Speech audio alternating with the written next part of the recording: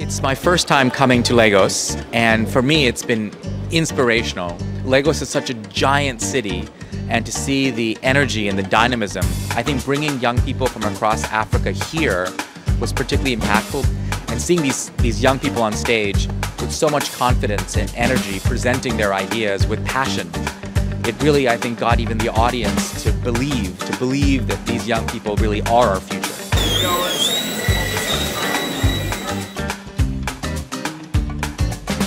The competition was quite tight, tighter than we expected, but we did our best, we put our best foot forward. The competition was very intense and fierce and all the teams did very well and made the best in a match. I loved listening to everybody's ideas, everybody's product, and oh my god, I can't lie, we were all afraid, we were all nervous. But at the end, I'm proud of every single country, including my country, mostly my country, but I'm very happy. We are hoping to win this competition today. Yes, we are taking the company of the year this year to Ghana.